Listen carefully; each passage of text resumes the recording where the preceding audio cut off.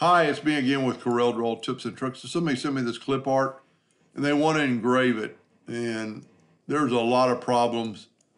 But what I did, I, I reduced it in size. I'm not going to show you all the steps on this. I converted it to a grayscale. I traced it, and this is what I got. And it's really pretty good. All I really want out of this is the leaves and the stems because we're going to reproduce the grapes. Hopefully, if I can do it again, go up to object group and ungroup it. And then let's see how big this thing is. It's only three inches. So let's set our nudge factor on five. And let's take this leaf and nudge it out of the way. All the parts. If you leave some, it doesn't really matter.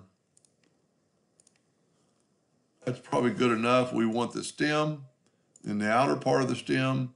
We'll go ahead and grab that part. We'll delete that inner part. And there's a bunch of parts to this stem or the vine. Whoop. And the grapes are kind of easy and fun to make. Tell you what, I'm going to just nudge that out of the way. That must be part of it. So we're going to call that good. This is really what we want.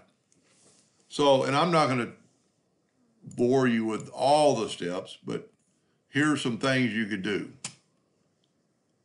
Take your ellipse to, Well, tell you what we'll do first. Let's take this guy and control D and make a duplicate of it, move it over here. Make sure it's over there. Yep, there it is. And then we're going to take this one and we're going to left click, right click, because we need this circle. We need to fill in that grape. So I'm going to get the two point, three point curve line and go from that node to that node and then hold down the control button just a little bit and get a perfect circle. Now I would test it to see if it worked and it worked. We're, we're sealed up there. So then you just need to take more grapes and you really need one right in here. So let's do the same thing. If we're going to use these control D and mirror those or nudge those over, left click, left click, right click. I need to select them all. Left click, right click. Because we want to put a grape right in here. So we're going to take our three point line curve again and go from that node to about to that node and then hold down the control button. It'll make it a little more perfect. And then we'll test it to make sure we're filled in and we're dead. So now you just need to create grapes. So we're going to take, I kind of like that shape. We're going to take the Smart Fill tool and nudge it over or just move it over. And we're going to make it, let's take away the color from both these and left click, right click. Now I think we've got a little twig there, so we need to delete that because we're going to make a bunch of copies of this. And it didn't work because those nodes aren't touching. So we'll make those nodes touch and then delete it. Now I would go ahead, since we're working with it, uh, select them all, go up to Windows, Dockers, join curves, and join them together so it's a complete circle. Now we're going to use that grape many times. And we're going to make some of them smaller. Let's put one right there. I'm going to hit the plus sign. I don't want to use the, the duplicate on here because I don't want it duplicating around. And I'm not going to do the whole vine and you'll find out how much artistic ability you have in doing this. And then just keep hitting the plus sign and we'll put one there the reason I'm not using the duplicate key because I don't want it to jump to the next position. I'm going to go ahead and fill in this gap. Well, on this one, I'm going to use a smaller grape. So I'm going to fill it in, smart fill it in with black. Whoop. I thought I had that sealed. So we, we really need to fix that before we do anything. Let's take this node and put it right there. I don't think there's another leak Tell you what, I'm gonna go ahead and fix this with the shape tool real quick. And get rid of these nodes. There's our problem right there. There's our leak. So let's take this and put it right there. Kind of look at our shape of our grape, use our smart fill tool, it worked. Go back to the pick tool and smooth this one.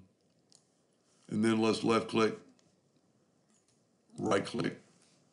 And you know, you see a bunch of, someone hit the plus sign, bunch of uh, lines overlapping. But that's kind of what we want. Because now we're going to make grapes. So you just need to figure out which ones want to be on top and which ones want to be on the bottom. And this is where you're going to, I would think these three, just do that right there.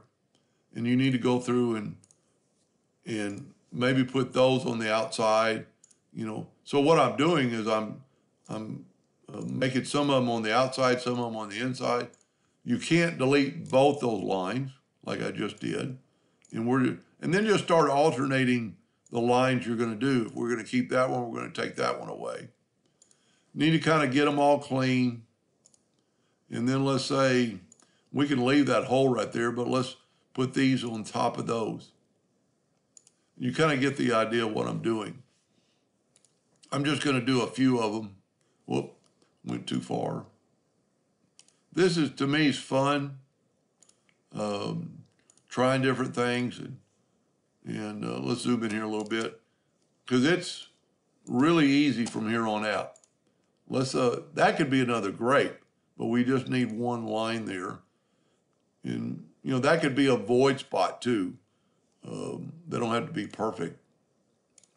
You know, the grapes aren't, they don't always have to be transparent. Let's get rid of one more line. Now, and you kind of got to let me zoom in here and see what's going on. No, that was just something on my screen. So take the Smart Fill tool and fill that in. I tell you what, we want a better one. We want a round one. Let's take that one and we can move it off the chart now. Now we're going to take the interactive fill tool and kind of put some shadow, shadow or interactive fill on this grape. Let me zoom in here and get a little better. You want some pretty big contrast. And you could go the, the light on the top or the light on the bottom. Now we got our sample. We need to fill in some of these with black to get this to work. Take the Smart Fill tool. Just don't do too many of them at a time so you don't know what is what. Now we can take that can get the attribute eyedropper, sample from there, and just put them in the spot. And if you don't tell, if you don't, if you tell me that doesn't look like grapes, you know, I'd maybe, you could fill in, you know, some void spots with black. Let's get the smart fill tool and fill in that void with a black, kind of give it some depth.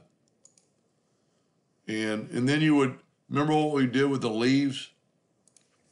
We can delete these leaves. We were just using them for a pattern and then just nudge them back.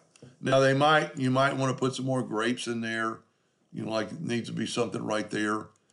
And let's put these other leaves back. Uh, well, we don't have to delete the other ones. Just leave the, the line there.